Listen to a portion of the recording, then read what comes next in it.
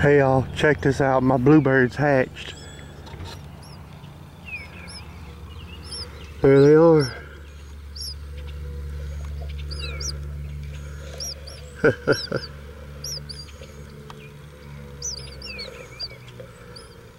Pretty cool.